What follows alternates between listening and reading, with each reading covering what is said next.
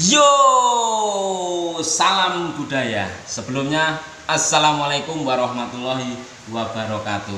Eh, saya sedang berada di eh, Masjid Usman bin Affan. Saya akan mereview dua wayang.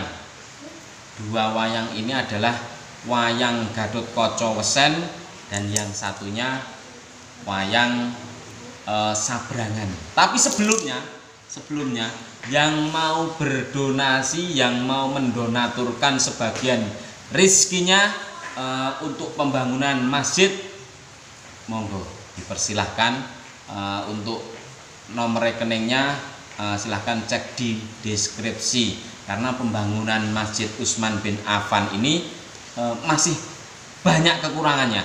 Jadi ada kubahnya belum, plafonnya juga belum dan lain-lain. Eh, monggo yang mau mendonasikan sebagian rizkinya eh, dipersilahkan. Selanjutnya simak terus videonya. Tah dong, tang, tah dong, tang, tang, tang, tang.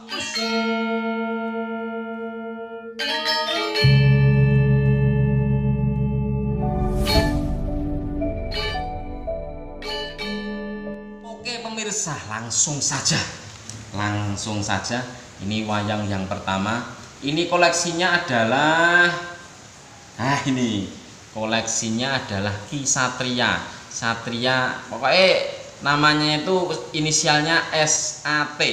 Nah, SAT. Nah, ini SAT. Jadi nama panggilannya itu Ki Satria. Di wayangnya itu ada dua pesannya. Ki Satria ini eh, domisilinya di Gunung Kidul. Jadi kalau misalkan dari Manyaran ke Posari itu ya sekitar eh, satu jam setengah jadi nyampe.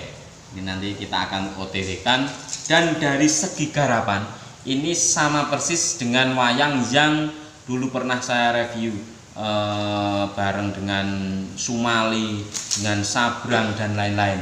Ini wayangnya Sabrangan dan ini salah satu yang dipakai untuk giveaway itu namanya pokoknya sabrang jenenge jenenge manut dalange.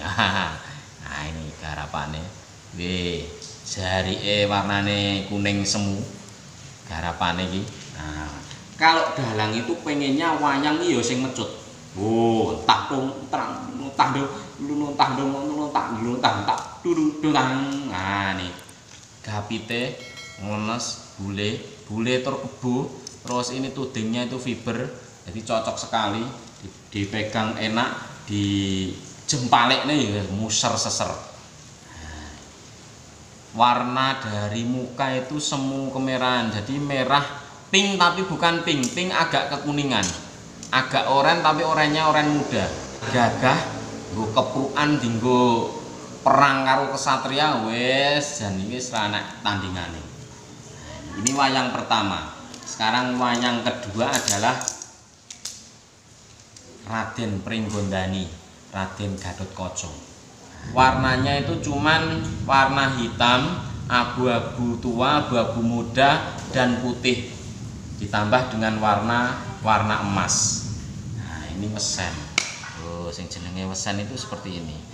Untuk motif, motif itu sama dengan sunggingan biasa tapi cuman warnanya yang yang berbeda. Jadi kalau sunggingan biasa itu kan ada kuning, hijau, merah. Tapi kalau sunggingan lesen itu cuman fokus kepada satu warna yaitu putih ke hitam atau abu-abu.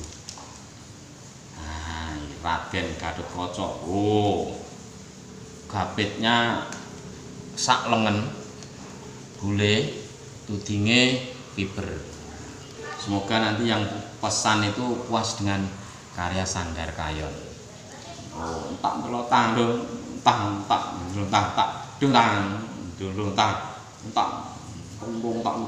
tang tak ush! Dung tang. Ini dua wayang yang kita review. Dan untuk video selanjutnya kita akan tampilkan bedah harga. Ada beberapa wayang yang terbaru. Dan monggo yang berminat silahkan langsung keringkrong langsung deal langsung kita celorotkan ini review wayang yang berminat monggo WA sudah tertera di deskripsi. Silahkan hubungi tanya-tanya harga tanya wayang apa yang kiranya cocok dipakai untuk hiasan dinding dipakai untuk pek e, dalang itu apa saja silahkan tanya-tanya. Nomor WA sudah di deskripsi. Oke sekian dulu review wayang Gatot Koco dan Sabrangan. Semoga bermanfaat dan salam budaya. Goodbye. Entah dulu entah dulu entah entah entah dulu. Tak tak tak tak